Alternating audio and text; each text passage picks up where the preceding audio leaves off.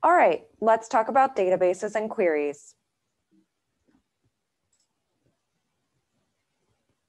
How we manage attribute tables, do queries, selections, and anything related to the attributes associated with the features on our map, we're leaning on the database part of a GIS. This is fundamentally what makes a GIS different than a graphic design software, for example. While I can do many of the same things to so-called data in a graphic design software like Adobe Illustrator or potentially even something like Microsoft Paint, these softwares don't have the same capabilities of one, having points, lines, and polygons with geographical and coordinate system information, and two, they do not have a database. The attributes in combination with the spatially aware data is what makes GIS unique and powerful. The database management system is what provides structure for your data, manages storage, allows you to update and maintain the data, and query or answer questions with your data.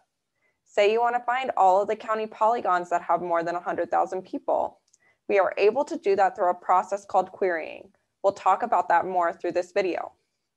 Software that handles the structuring, storing, maintenance, update, and querying of the data is called a database and a database management system.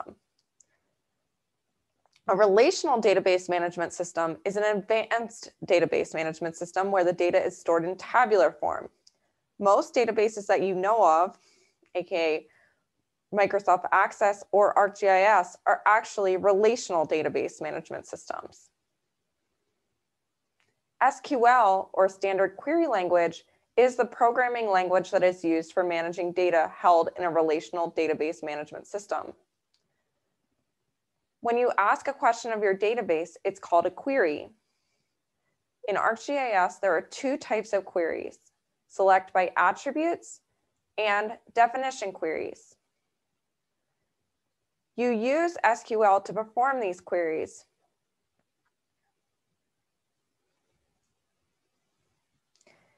You may have used select by attributes in ArcGIS by now.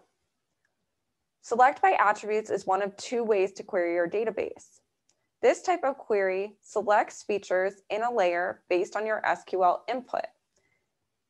In this example, I have a layer called state dissolve 5.